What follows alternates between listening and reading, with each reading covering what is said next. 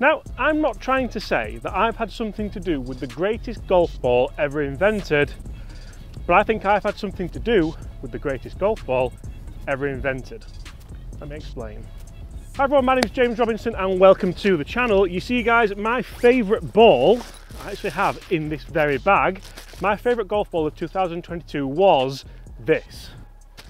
And you may have recognised guys that in my video when I reviewed the golf ball, I absolutely loved it but I wasn't sure on a couple of technicalities about it. I wasn't sure about, I'm not gonna lie, I wasn't sure about the colour. I even had a hole-in-one with this golf ball from 220 yards with a four iron, probably one of the best golf shots I've ever hit.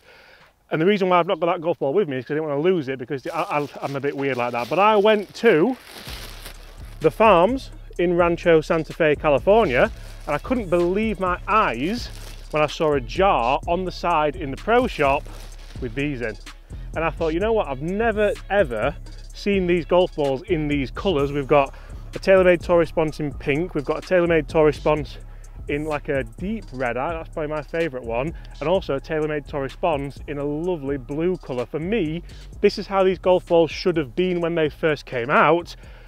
The, the, the lime green, for me, it just kind of blended into the ground a little bit more. I'm going to play this back from the video. So a few issues that I might have around this golf ball. The colour's not great, like I don't mind it, it's okay for today's video. If I was going to use it all season, I think knowing TaylorMade, they probably will bring out some different colours. So guys, we're going to test these golf balls, see if they are a little bit better than the green version, see if you can see them a little bit more. We are in winter here, but you can see that the greens and the fairways are a little bit kind of yellowy green, so the exact colour that the Tour Response would have been.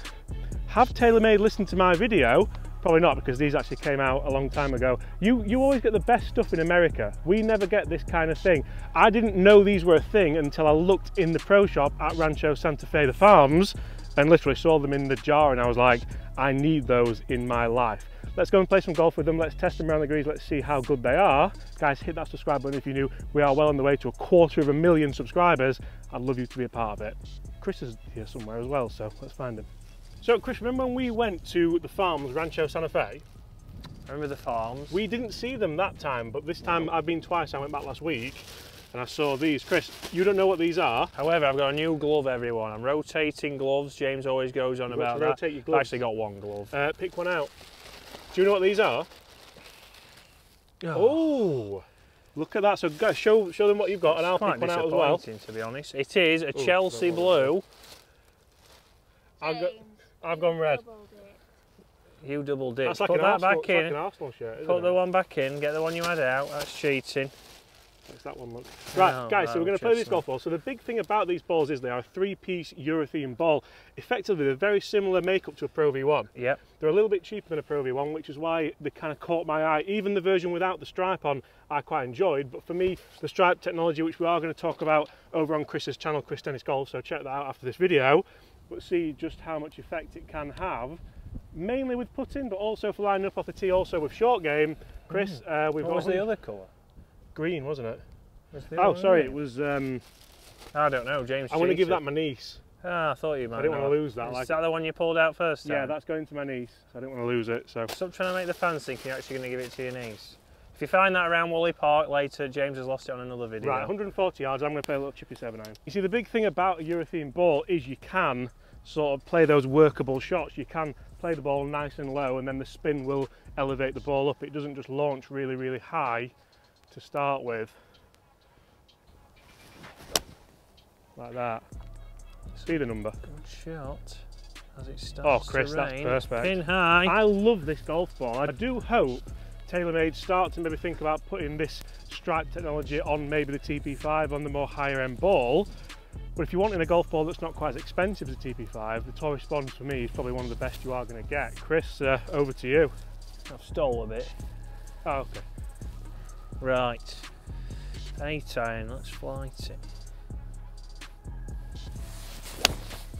Nice. It's coming back. Sit.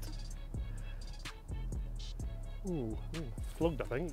Plugged and lost, first ball. First well, gone, yeah. on the pink one already. All the way to California to get those, Chris, and that's one shot with an 8 iron gone, perfect. One hit wonder. Right guys, so a nice little bit of controlled stoppage there. That's one thing which I really enjoy about the TaylorMade Tour Response ball. For me, probably one of the most underrated balls of the year. That and pains me to say it, the Costco Kirkland Performance Plus. Love that golf ball as well. There's no better ball I'd rather kind of kick things off with than, to be honest, it was a total surprise. They're almost like a top secret ball, these, because TaylorMade have never really made a big song and dance about them. They almost feel like a custom order. Chris, I'll let you uh, let you go. Have you moved it out of its pitch mark? I have. Little 52. Go on. Hmm. Not my finest Not shot. your best. Right. So when I first tested the Tour Response, I hold quite a lot of puts. Roll, he's got it. He's got the line. He's got the line. Hopefully, we'll do the same here. Because to me, that looks so good. And really, really helpful for people if you are thinking about struggling with alignment on puts and things like that. Is it on me, Chris? I believe so. Just I'll let you to- come up the hill. Just took a Oh, we'll see that one in, my friend. It's took a tough- skip. There, it was a good roll until it took the skip. Again, there you can see that it did roll pretty well there with the red and white of Arsenal Football Club. That's a great roll. Oh, it's oh. straightened up. How good did that look, by the way? On the roll. I hope you got that on the camera because that It- looked incredible, and that is one up. It looked, do you know what it looks like that? What? Mikel Arteta's total football, that's what it looked like. this is a bit more like Graham Potter's, this. All over the shop. All over. Right, that is one up to Robinson. And guys, one of the things that a lot of people do like about this ball, about the Align technology on it, you can just set it up to help you off the tee. So if I set this up kind of left hand side of the fairway here, the wind's off the right, off the left, sorry. So I'm just going to fade it. right, it exactly, yeah, I'm not too sure. Fade it off that left side.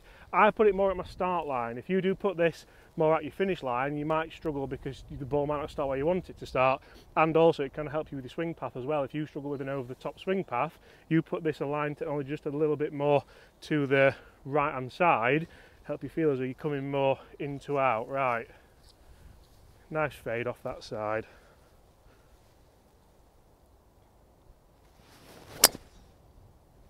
Just like that.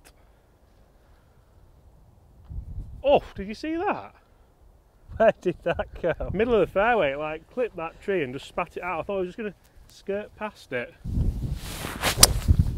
Oh, look at that. You can really see that well in the air as well, can't you? I think you can see the blue better than the red. I think the Yeah. red's a little bit dark on the It green. didn't seem but- to shift its axis, did it? The spin axis there looked really, really neutral, which is what you want for a good drive, isn't it? Let's go up there and see where they are. A natural ball striker. Natural ball striker. That's Chris's new brand, apparently. NBS. Right, guys, it is winter rules. So, obviously, winter rules, I can clean and place my ball. Make sure I do that. And this is where this ball can become effective as well because obviously I can't usually align it on a fairway. Chris can't because he's in the rough, but I can take advantage of that and just give myself a bit of visual feedback. Again, this is nothing that you can't do with the standard tour response ball, but for me, the different colours just stand out so much. I hope these are mass made eventually. Come on. Nice fade into that flag.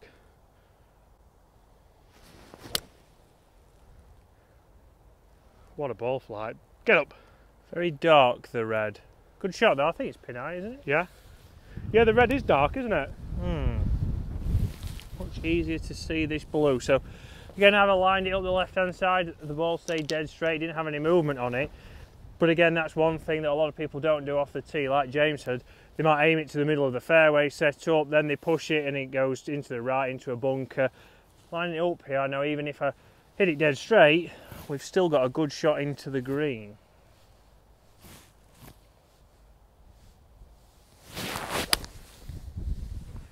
What a shot that is. Sit.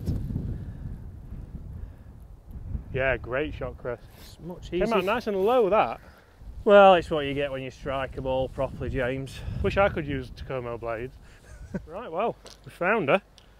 That's, uh, I thought it was further up than that, but again, we'll clean and place.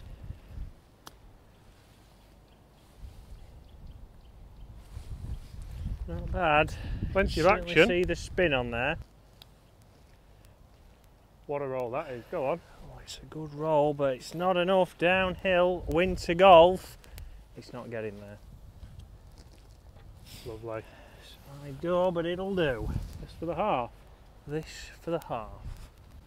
It's got to be a good cup outside the left with good pace here, James. Yeah, it probably helps me that this is for the half. I can be a bit more aggressive on it. Get a nice What's the roll on this? square my hips up, Chris. Square the hips, release the head. Oh, bad read. Good roll, bad read, not enough. As Chris said, that is level going into the final hole, par three. Who's going to win, guys? Get in the comments below. And also, would you use these balls if you found them in a jar in the pro shop? Ah, right, 145 yards. A little 18, hopefully don't fly it long like the ninth hole here, Yeah. will it? Flight one down. He's duffed it, and that is all over it. I didn't duff that. Oh, Absolutely flushed it and got called a duff. that that, that was that was heavy. that was flighted down, struck perfectly. Damien. Someone would call that That was a duff. Like I'll own up to my duff.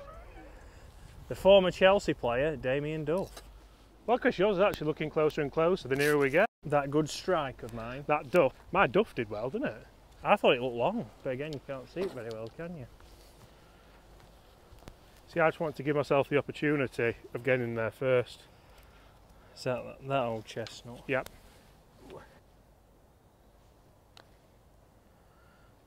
Ooh. Terrible stroke, terrible strike, and you could tell by the roll on the ball. That's the feedback you get, but it is a par. Oh, better finisher than Lukaku I am with that Chelsea golf ball. Guys, that for me is potentially one of the best top secret balls that you could have bought last year. Who knows what's coming this year?